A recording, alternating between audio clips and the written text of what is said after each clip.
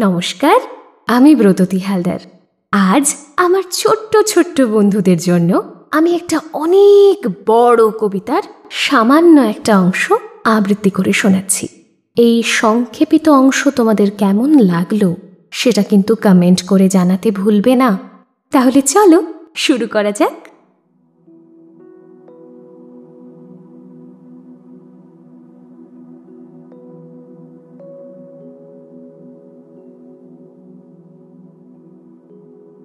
ঝিনেদার জমিদার, কালাচাঁদ রায়রা, সে বছর পুষেছিল এক পাল পায়রা। বড়বাবু খাটিয়াতে বসে বসে পান খায়, পায়রা আঙিনা জোড়ে খুঁটে খুঁটে ধান খায়।